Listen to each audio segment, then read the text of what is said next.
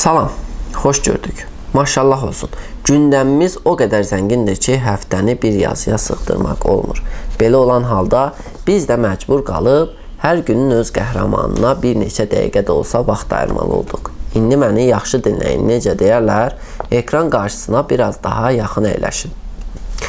Əvvəla mövzunu hər birinizin şahidi olduğunuz bir şeylə başlamaq istəyirəm. Yəqin nənələrinizdən görmüsünüz.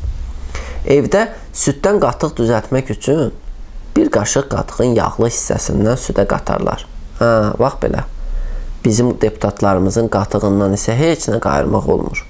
Duzsuz, amma bir o qədər də məzəli açıqlamaları ilə xalqımızın başını qatmağa çalışırlar. Kaş elə bununla da kifayətlənəydilər.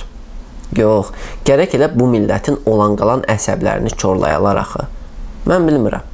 Bəlkə də siz bilərsiniz. Bu deputatlara bu maaşları elə boş-boş çərənləmək üçünmü verirlər? Yox qardaş. Bu Hadi Rəcəblidən, Araz Əlzadədən, nə bilim, arada bir iki cümlə qığıldadan məclis qəhrəmanlarından başqa birini tanıyan da yoxdur. Demək, gündəmdə qalmaq və ya dırnaqarası fəaliyyətdə olmaq üçün arada bir konyakdan 1-2 rumka vurub hansısa sayta açıqlama vermək gərəkmiş. Ay Hadi Rəcəbli qağa, sənə and verirəm Rəcəb ayına. Belə danışıb millətin əsəblərini, səbir kasasını daşdırmaqdansa heç danışmasan yaxşıdır.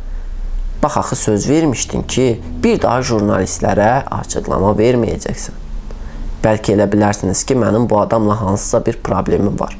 Yox, qətiyyən elə deyil. Amma deyəsən, bu canlının Azərbaycan xalqı ilə bir problemi var. Deyir ki, əskər ölməlidir də, nə şişirdirsiniz ki? Əvvəla məşhur bir məsələ yadınıza salım.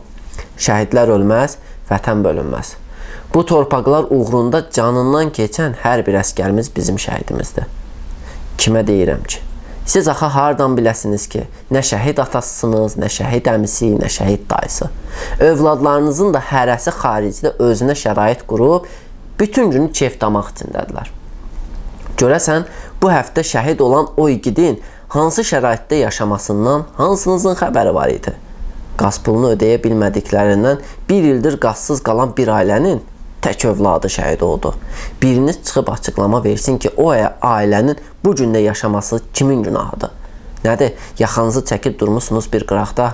Qıraqda durmağınız cəhənnəmə. Heç olmasa qatıq tökülən ağzınıza bir yapışqan vurun.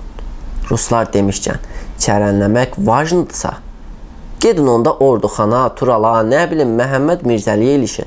Eybi yox, qəbulumuzdur, bizi ilişin.